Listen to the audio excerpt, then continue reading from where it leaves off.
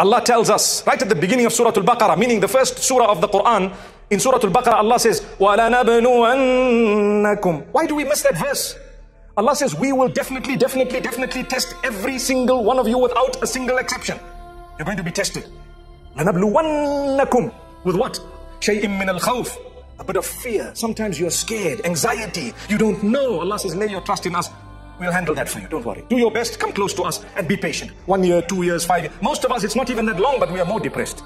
Allah says, don't worry. Take it easy. It's going to, we will help you through. Take it in your stride. What? Al-khawf wal-ju' Allah says He will test you with hunger. What is hunger? After you were earning a thousand dollars a week, you start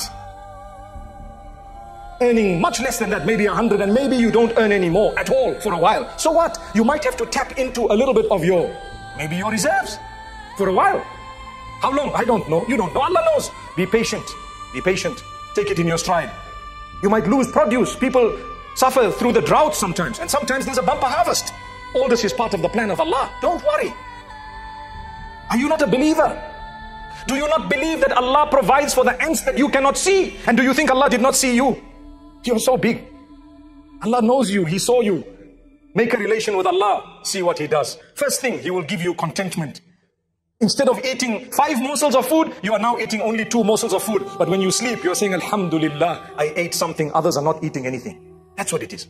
But some people, they used to eat 10 morsels. If they have to drop to nine and a half, they can't sleep.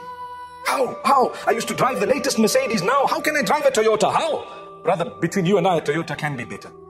Just depends which one you got. Allah grant us ease.